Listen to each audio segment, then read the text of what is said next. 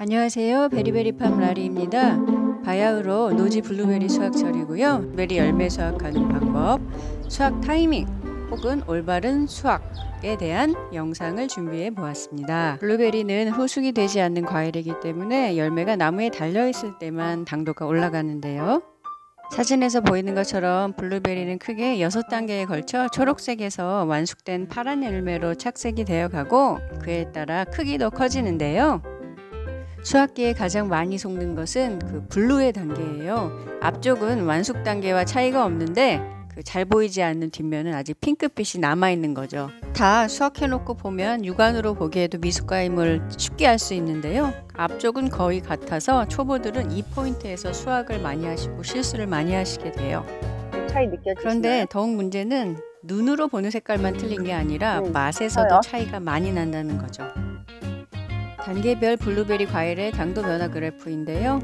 blue 단계에서 완숙 단계로 넘어가면서 당도가 급격하게 상승하는 것을 보실 수 있습니다. 그 다음은 그 블루베리 과일의 신맛 변화 그래프인데요. blue 단계에서 완숙 단계로 가면서 신맛이 급격하게 또 사라지는 걸 알 수 있고요. 즉, blue 단계의 미숙과는 완숙과보다 덜 달고 신맛이 강하니까 맛이 없다. 이렇게 알 수 있죠. 그럼 맛만 차이 날까요? 그렇지 않습니다.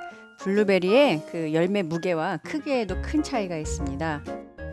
단계별 블루베리 과일의 무게 변화 그래프인데요. blue 단계에서 완숙 단계에 또 급격하게 무게가 무거워지는 걸 볼 수 있죠. 거 이외에도 또 중요한 포인트가 있는데요. 블루베리를 기능성 과일이라고 비싼 값을 주고 소비자는 사 먹잖아요. 핵심에는 블루베리가 가지고 있는 안토시안이라는 물질이 함유되어 있는데요. 이 안토시아닌 함량 또한 단계별로 다릅니다. 단계별 블루베리 과일의 안토시아닌 함량 그래프입니다.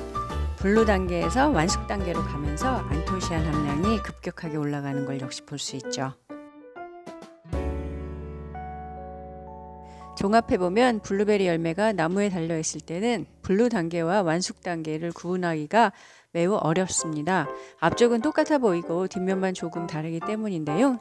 blue 단계의 열매는 완숙 단계의 열매보다 덜 달고 더 시고 작고 안토시아닌도 적게 함유된 미숙과라는 사실을 알 수 있었고요. 위에 설명드린 이유에서 블루베리 열매는 수확 타이밍이 정말 진짜로 중요하답니다. 이렇게 보면 까맣게 이렇게 형성된 거. 지금 양쪽에 열매가 달려 있는데요. 요거랑 요거. 어떤 차이가 있는 것 같으세요?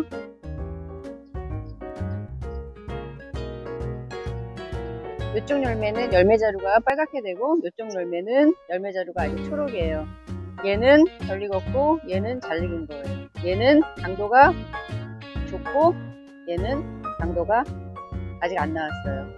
이렇게 이렇게 보니까 육안으로 구분 되네요.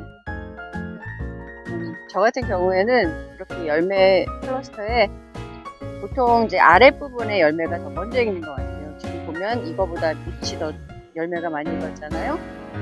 이, 이거를 이렇게 따놔요. 그래서 일꾼들이 수학 일꾼들이 안에서 속을 좀 보면서 수확할 수 있게 이렇게 제가 다니면서 이렇게 따놓는 편이에요. 이 정도 익은 거에 달려들지 마세요. 한 50%는 익어서 사실은 딸 게 있어 보이긴 하지만 열매 수확하면 열매 바구니가 뻘이에요. 이 정도 익은 건. 이거보단 보시면 이건 조생종 레카라는 품종인데 지금 수확이 이미 많이 진행됐죠. 저희가 다 땄는데 이 정도 거의 다 익었을 때 들이대야 수확 바구니가 거무스름하게 잘 익고 달콤한 블루베리만 수확하게 돼요.